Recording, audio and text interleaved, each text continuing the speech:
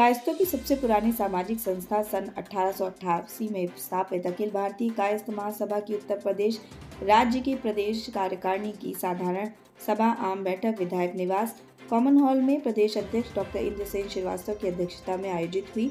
अखिल भारतीय कायस्थ महासभा उत्तर प्रदेश के 75 जनपदों में से 60 जनपदों में गठित कार्यकारिणी के जिला अध्यक्षों महामंत्री एवं युवा महिला प्रकोष्ठ के जिला अध्यक्ष महामंत्री, प्रदेश पदाधिकारी गण ने प्रतिभाग किया। इस कार्यक्रम के दौरान सामाजिक ताना बाना चुस्त दुरुस्त करने के लिए नियमित उपस्थित सदस्यों ने अपने विचार रखे।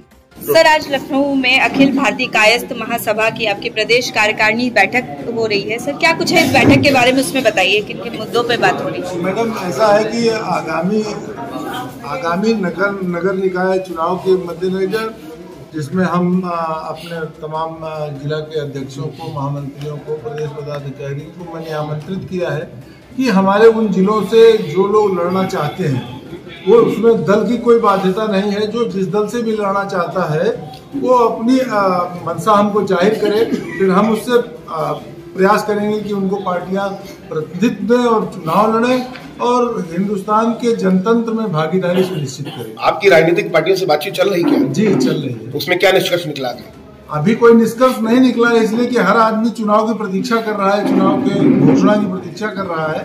सारे लोगों ने आश्वासन दिया है कि हम कायस्थों को उनका उचित प्रतिनिधित्व देंगे। आश्वासन मिला अगर मान लीजिए आने वाले समय में अगर भागीदारी नहीं देते तो क्या करेंगे हम चुनाव लड़ाएँगे। इंडिविजुअल आप लोग चुनाव लड़ाएँगे। हम अपने निर्दल लड़ाएँगे चुनाव। मतलब काय समाज अपना चुनाव लड़ा अगर भागीदारी कोई राजनीतिक पार्टी नहीं करती तो लोगों को हराने का काम करेगा। अगर हम जीत नहीं सकते हैं तो हम लोगों को हराएँगे। क्योंकि संज्ञान में हमारे आया है दल ऐसे हैं जो आज की तारीख में प्रासंगिक हैं। वो दोनों दल चाहते हैं कि कायस्थ लड़ाएँ। क्या उनका नाम जान सकते हैं दोनों दल का? समाजवादी पार्टी और भारतीय जनता पार्टी। इन दोनों की तरफ़ से ये कहा गया है कि नहीं लखनऊ से प्रत्याशी हो सकता है। तो जिसको भी प्रत्याशी बनाएँगे हम उसका उसकी मदद करेंगे। सर कायस्थ समाज के लिए क्या संदेश देना चाहेंगे?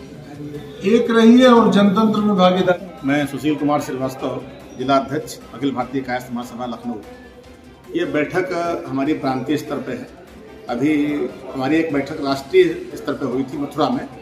उसमें कुछ 2023 के चक्कर में और इस नगर निगम का जो इलेक्शन आ रहा है, उस पर बैठक हो रही है तो हमारे प्रदेश के समस्त जिला के जिलाध्यक्ष, उपाध्यक्ष, महामंत्री, सचिव आए हुए हैं और उनसे इस बात की गुजारिश की जा रही है कि आप अपने अपने जनपदों में सदस्यता बढ़ाएँ काष्ठों को और काष्ठों को मज़बूत करने के लिए निकाय चुनाव में उनको खड़ा करें और उसी के आधार पर हम लोग आगे विधानसभा और लोकसभा तक जाएँगे।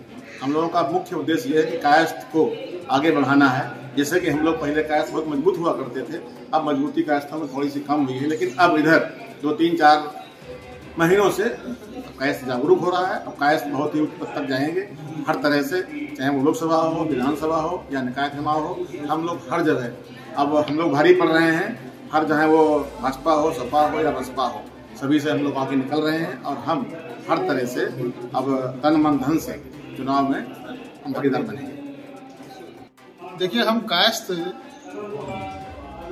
एक मज़बूत श्रेणी रखते हैं समाज में और सामाजिक प्रतिष्ठा भी धारण करते हैं। श्री चित्रगुप्त भगवान के हम वंशज हैं और इस सभा में यही इंगित किया जा रहा है कि हम कायस्थों को अब राजनीति में संपूर्ण रूप से अपना दायित्व और क्रियाशीलता दिखाने की आवश्यकता है। नगर निकाय चुनाव के लिए भी कायस्थों जी नगर निकाय चुनाव में भी हमारे कायस्थ बंधु उतर रहे हैं और आशा है कि वो एक अच्छे परिलक्ष्य से जीत हासिल करेंगे। देखिए हम कायस्तों को कलम और दवात दो ही चीज़ विरासत में मिलती है जिसके ज़रिए हम लोग आज कई उच्च पदों पर स्थित हैं, पर राजनीति में राजनीति में थोड़ा सा हम लोग पीछे हैं। जिसको सुधार लाने के लिए ये ये बैठक का आयोजन किया गया है, जिसमें हमारे माननीय प्रदेश अध्यक्ष जी और अन्य लोग भी जो है, वो अपने वक्तव्य प्रस्तुत कर रहे हैं। और आशा करता हूँ कि इस बार चित्रांश समिति समिति के लोग, जितने भी लोग हैं वो एक अच्छा निकाय चुनाव में बजट चैनल देशभद्र न्यूज़ को बेल आइकन दबाकर सब्सक्राइब, लाइक और शेयर ज़रूर करें।